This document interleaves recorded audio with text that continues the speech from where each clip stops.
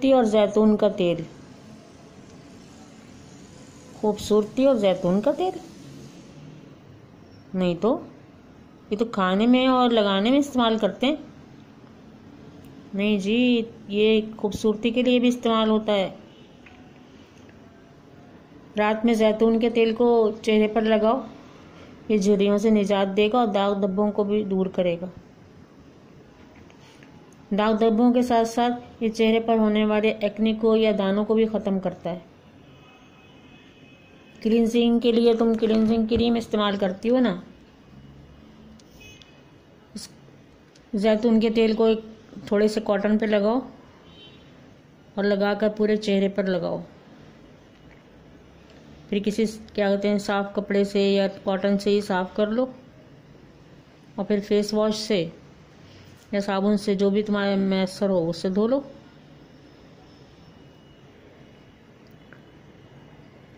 इस तरह रात को भी लगा कर अगर सो जाओगे तो सुबह चेहरा धोने के बाद नर्म मुलायम हो जाए, किसी क्रीम या मॉइस्चराइज़र की ज़रूरत नहीं रहेगी।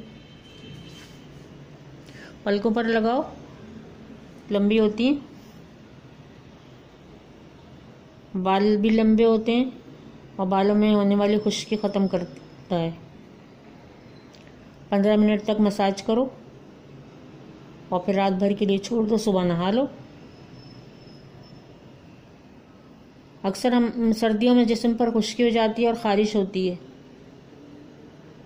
नहाने से पहले मसाज करो और 10-15 मिनट बाद नहा लो। फिर देखना कैसी जल्द नरम मुलायम होगी। मॉइस्चराइज़र इस्तेमाल करते हो ना? बालों के लिए। मॉइस्चराइज़र नहीं, कंडीशनर हाँ वही कंडीशनर। कंडीशनर इस्तेमाल करते हो ना तो वो नहाने के बाद एक चमचा जैतून का तेल लो एक मग पानी में मिलाओ बालों में लगा लो। बेहतरीन कंडीशनर। अगर एलोवेरा और जैतून का तेल मिलाकर भी सर में मसाज करोगे ना तो फिर हैरत अंगेज नतज सामने आएँगे। कौन सा तेल इस्तेमाल करो?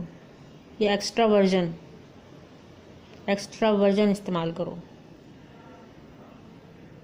हाथों की खूबसूरती के लिए एक चमचा जैतून का तेल लो। इसमें थोड़ी सी अंडे की जर्दी मिलाओ, तकरीबन आधी मिला लो। और हाथों पर लगा कर दस पंद्रह मिनट के लिए छोड़ दो, फिर किसी भी साबुन से धो लो।